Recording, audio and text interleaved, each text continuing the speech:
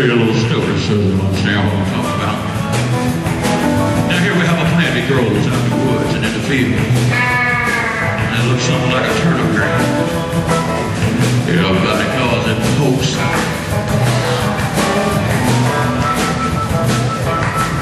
That's folk. Used to know a girl lived down there and she got to use a picker and. For supper.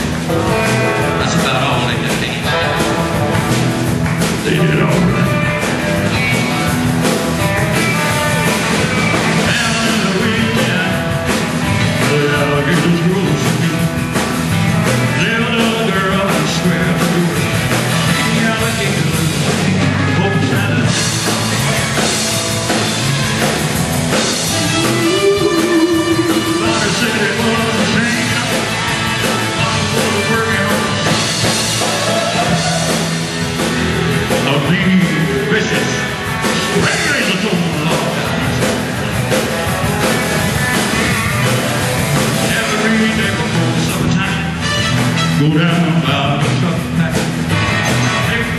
go